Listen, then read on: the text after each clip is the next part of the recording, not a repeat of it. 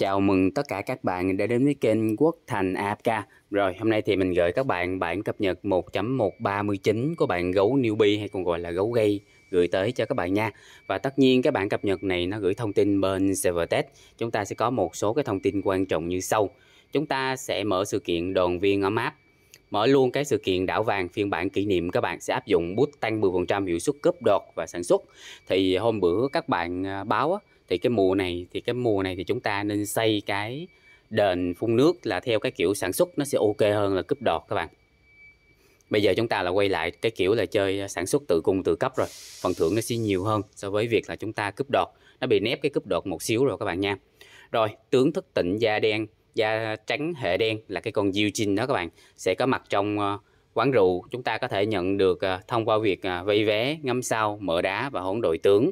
Và chúng ta sẽ được à, cho chơi thử cái con Eugene. Tức là con Eugene bây giờ nó đã mở open các bạn? Các bạn có thể lấy sớm cái con Eugene này về. Rồi chúng ta sẽ có một cái hành trình kỳ quan với chủ đề là kỷ niệm. Chúng ta sẽ có một cái vòng tinh vật huyền bí kế tiếp, bao gồm 3 ngày báo danh, một ngày ghép cặp và 3 ngày chiến đấu. Thêm chương chiến dịch mới là ải 65, giảm độ khó của một số ải chương 64. Chúng ta sẽ điều chỉnh và sửa lỗi tướng như sau. Tôn, sửa lỗi hiệu ứng giam cầm. Và có một cái ảnh chống trôi của bạn gấu gây xâm một lần bốn cái con ở qua kình sư. Tại sao lại là bốn con ở qua kình sư các bạn? Rồi, với cái sự kiện này thì ờ, chúng ta sẽ có cái thông tin nào quan trọng nhất các bạn? Chúng ta sẽ có một cái sự kiện liên quan là đoàn viên ở map. Như vậy thì với cái sự kiện này các bạn, với cái sự kiện này thì chúng ta có thể có thêm rất là nhiều tài nguyên là một nè. Thứ hai là chúng ta đã có thể xâm được cái con Eugene hình như là gần một năm cái con này được ra mắt rồi các bạn. Một năm chưa ta? Sorry các bạn chưa, mình nhầm. làm gì tới một năm mấy vài tháng à. Ok, Eugene đã được uh, cho phép chúng ta xâm như vậy thì có thể kiếm được một con Eugene full option. Tầm này là bắt đầu thấy các VIP player, các mập, các voi chuẩn bị test cái con Eugene để chúng ta thấy được sức mạnh 100% của con Eugene này, cũng như là sức mạnh 100% của bộ đôi Eugene và Gavert vốn cả hai phải cùng phối hợp với nhau thì nó mới mạnh được các bạn.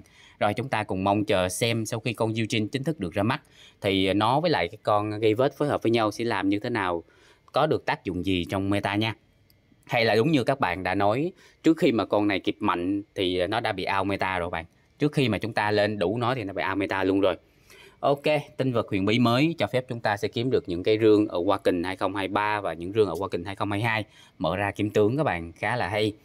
Rồi chúng ta sẽ có một cái chiêu mới ha. Và Rồi, chúng ta sẽ có một cái sự kiện mới nè các bạn sự kiện mới và chúng ta sẽ có một cái con tướng mới người thú. À, chúng ta sẽ có một cái con à, uh, tướng mới người thú các bạn. Các bạn nghĩ rằng con tướng mới người thú của chúng ta sẽ là con tướng gì? Quay lại một xíu về cái chủ đề lúc trước mình đã bàn với các bạn. Các bạn là sắp tới thì chúng ta sẽ có một cái con ở qua kình mới. Các bạn vào cái chỗ cạn giao dịch nè. Các bạn vào chỗ mà sự kiện ra mắt cái con ở qua kình Lucid trong tàu cao cấp á, thì các bạn rõ ràng, các bạn thấy cái con Awaken Lucid của chúng ta đã sắp tới hạn, sắp tới hạn, hết hạn rồi các bạn, chỉ còn 4 ngày nữa. Và thường thường thì tới cái thời gian này là sẽ gần tới cái thời gian mà chuẩn bị có những thông tin rò rỉ, cũng là những cái thông tin liên quan tới cái con tướng ở Hoa Kình mới.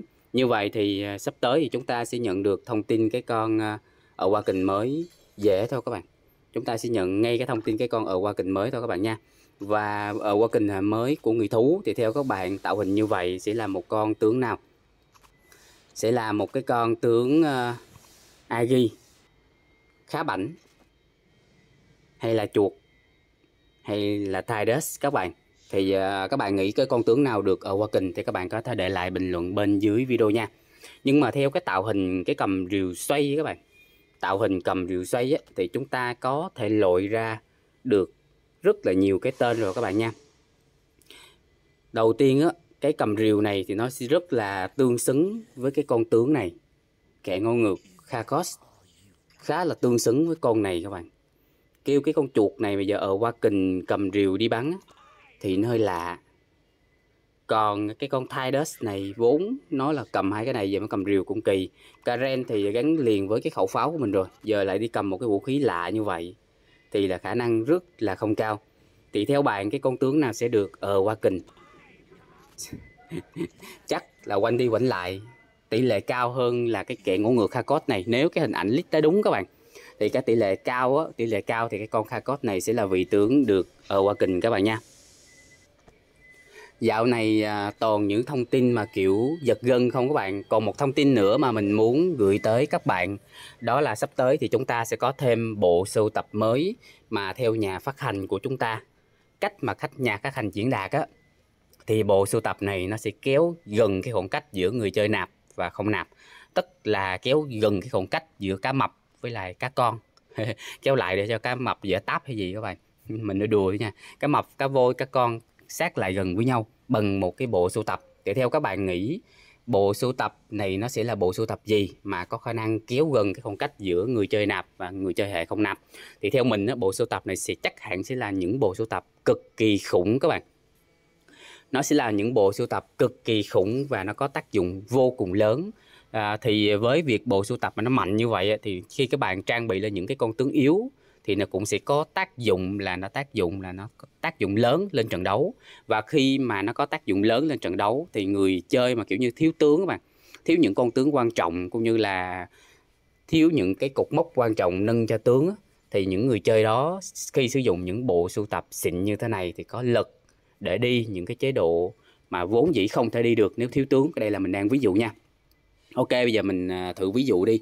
Một bộ sưu tập của con nào mà siêu khủng nó cho ra khả năng siêu đỉnh các bạn. Giờ ví dụ nó cho ra bộ sưu tập của Ivan. Ờ, cho ra bộ sưu tập của Ivan cho phép tạo ra những cái hộ vệ xương. Không thì tự bút khiên lên chính mình gia tăng tốc độ đánh gia tăng các kiểu này nọ. Thì nghĩ các bạn nếu mà bộ sưu tập của Ivan này được ra mắt thì newbie ấy, newbie ấy, các bạn sắm vài bộ sưu tập này lắp đại lên cho tất cả các tướng nào thì các bạn nghĩ việc leo map đầu game á nó còn nhàn hay không? Siêu nhàn. À, siêu nhàn các bạn ha.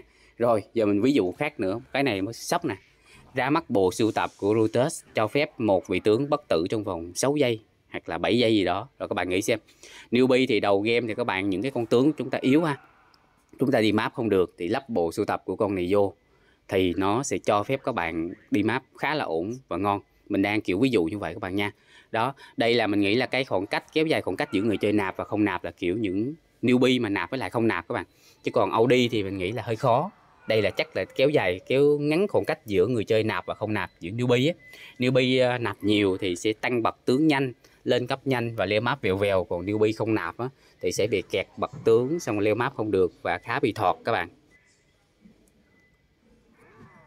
Rồi chúng ta thử đi tìm xem còn cái bộ sưu tập nào nữa không các bạn nha.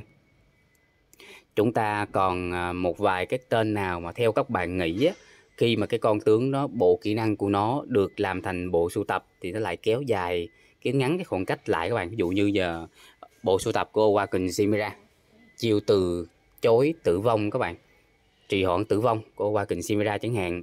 Không thì bộ sưu tập của Rem à, gây ra sát thương diện rộng chẳng hạn đi. Đó các bạn nghĩ những bộ sưu tập nào thì nó sẽ ảnh hưởng lớn tới game?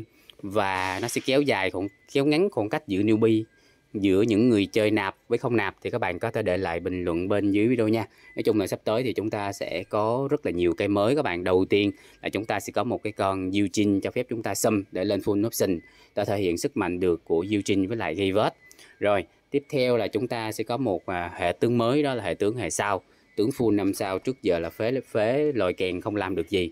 Thì bây giờ nó có thể chuyển sang một hệ gọi là hệ sao mang trong mình sức mạnh mới cũng như là nhiều cái tác dụng mới các bạn. Rồi sắp sửa thì chúng ta sẽ chào đón một cái con ở qua kình mới hệ thú. Chúng ta sẽ chào đón một con ở qua kình mới hệ thú. Thì uh, nếu mà đúng theo tạo hình thì khả năng cao sẽ là con khá bảnh các bạn. Cầm cái rìu, rìu như thế thì không thể nào là cà ren hay là chuột được. Sói cũng khả năng rất là thấp rồi ở qua kình mới mới hệ thú. Sau đó chúng ta mở sự kiện tinh vật hiện bí, rồi những sự kiện khác liên tiếp tiếp theo.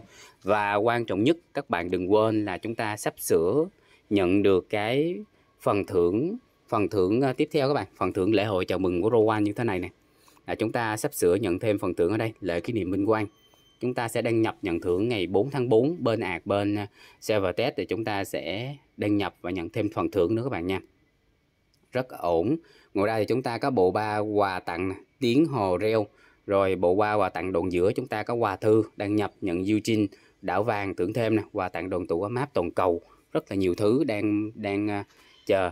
Và mình chờ khi nào bên server test nó có cái server mới 66 thì mình sẽ tạo ạc mới và mình sẽ cày lại cái ạc newbie cho các bạn xem nha. Server 66 bên server test hiện tại vẫn chưa có các bạn. Ok, rồi và mình xin phép được à, kết thúc video của mình tại đây. Cảm ơn tất cả các bạn đã theo dõi và xin hẹn gặp lại các bạn tại các video lần sau nha. Xin chào tạm biệt. Bye bye.